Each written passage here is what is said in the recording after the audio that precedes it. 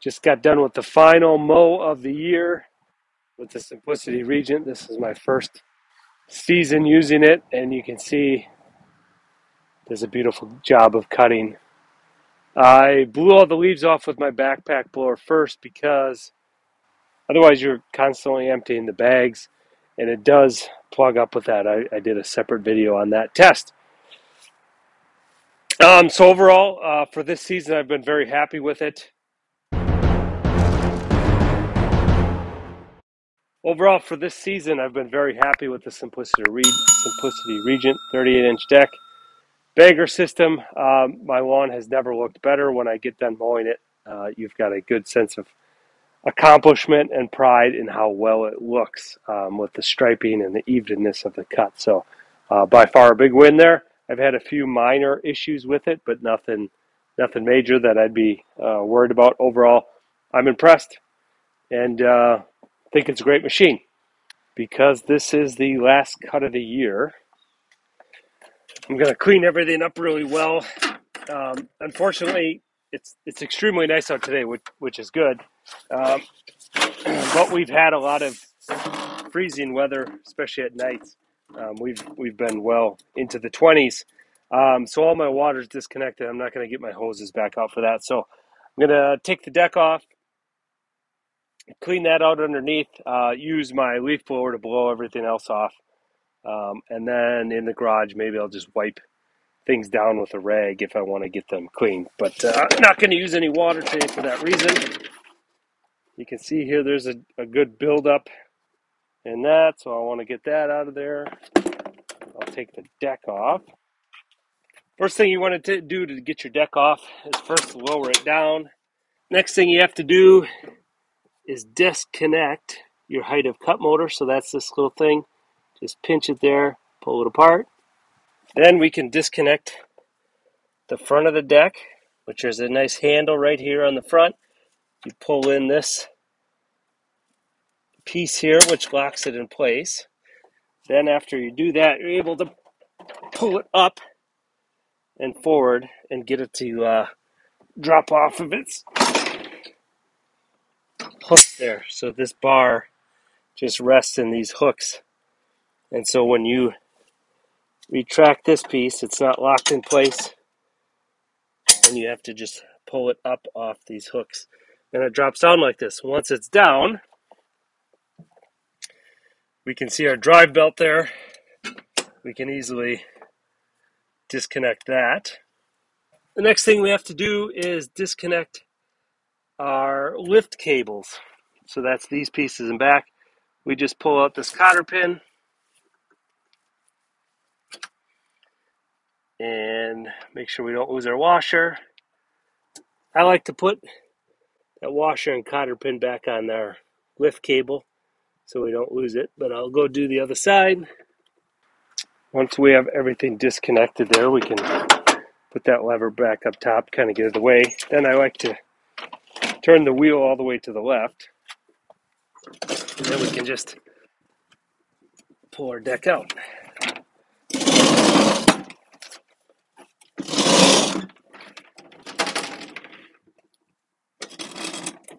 To move it around, because we've got the roller on the back, you can use the front as a handle here and wheel it around nicely.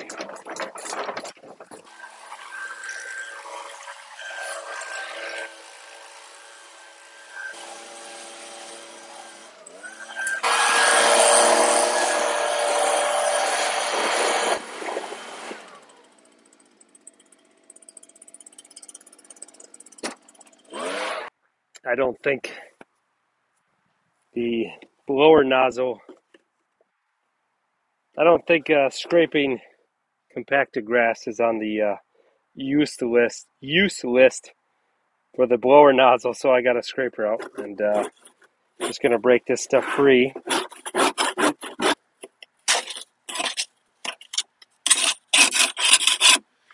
While I'm in here, I'm gonna get these blades off. I'm going to sharpen those anyway, so I'll get those off so they're out of my way.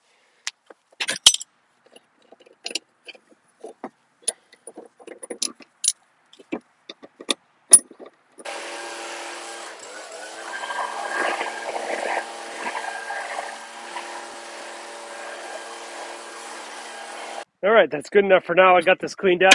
Uh, the other thing I wanted to check on here is the well broke on this earlier, and I replaced it with a rivet. I've got a separate video on that of of uh, repairing this deck, and that seems like that's holding strong. So that's a a good deal. I'm gonna clean this up better this winter, so I'll have an episode coming up where I put a non-stick coating on here. So whether it's a graphite paint or maybe some sort of a Teflon coating, I'm definitely going to try that out and see if that makes an improvement on preventing the grass from sticking on this. One other thing I'm going to do before I put this away for winter is put some fresh grease in the blade spindles here. Doesn't need a lot, just a few pumps. Now, this is a little bit less convenient than most others. Uh, mower decks these days, they have this greaser on the top side so you can just pop in grease anytime. Um, but this is actually putting the grease. There's a bearing below here and a bearing above uh, to fully support this um, spindle shaft. And this is actually the correct place to put this zerk. It's not the most convenient, but we're injecting grease between the two bearings, and so it forces some to the lower bearing and some to the upper. If we're putting it at above, we're relying on it having to pass through that top bearing, make its way through the cavity, and then to the bottom bearing. So, um, you know, th- those are sort of engineered for convenience, not actually uh, for the best possible place to inject grease. So, if you're wondering, that is why Simplicity has stuck with this location because it's actually for bearing life and lubrication. This is the correct place to put it.